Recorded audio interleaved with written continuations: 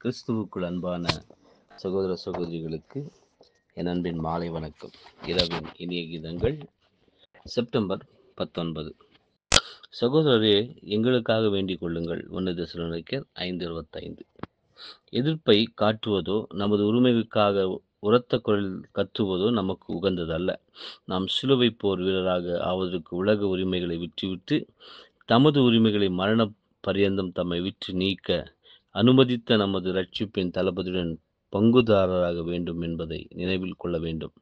கிறிஸ்து இயேசுவை பின்பற்றுகிறவர்களை உலகமும் தூதரும் நோக்கி பார்த்து கொண்டிருக்கிறார்கள் அப்படிப்பட்டவர்களை தங்கள் தாங்களே பலப்படுத்தி கொண்டு ஒருவரை ஒருவர் மகா பரிசுத்தமுள்ள விசுவாசத்திலும் அன்பிலும் கத்தருக்காகவும் அவருடைய நற்செய்தியின் நிமித்தமான வைராகியத்திலும் ஸ்திரப்படுத்தி கொள்ள வேண்டும். இப்படிப்பட்ட சூழ்நிலைகளில் நாம் ஒருவர் மற்றவர்களுக்காக ஜெபிக்க கடமைப்பட்டவர்கள்.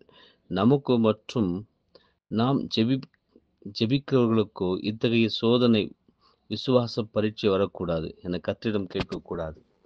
ஏனெனில் எது நமது நமக்கு சிறந்தது என்ற தெய்வீக ஞானத்தில் தேவன் அறிவார். தேவ வாக்கு தத்துவத்தின்படி அவர் நமக்கு அருள வேண்டியதை நாம் நமது தேவை அறிந்து கேட்க மன்றாட ஒருவருக்கொருவர் ஊக்கமாக ஜெபித்தல் அவசியம் என்பதே. ஆமேன்.